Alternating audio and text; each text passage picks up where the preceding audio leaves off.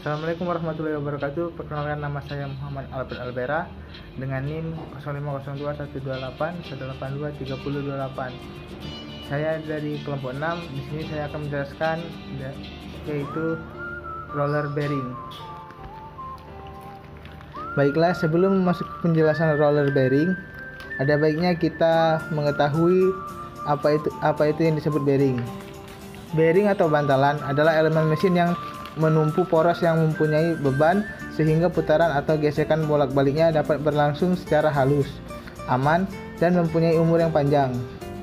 Bearing harus cukup kokoh untuk memungkinkan poros serta elemen mesin lainnya bekerja dengan baik.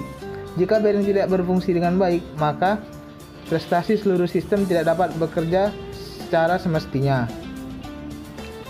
Baiklah, ini adalah roller bearing. Roller bearing atau disebut pula dengan needle bearing digunakan untuk menanggung beban radian yang tergolong besar. Bentuk roller bearing ini adalah silinder yang membuatnya memiliki banyak kontak antara inner surface dan outer surface.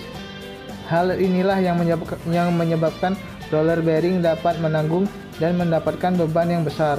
Meskipun memiliki kelebihan, terdapat pula kelemahan dari roller bearing, yaitu tidak dapat menerima atau menanggung beban trust yang besar.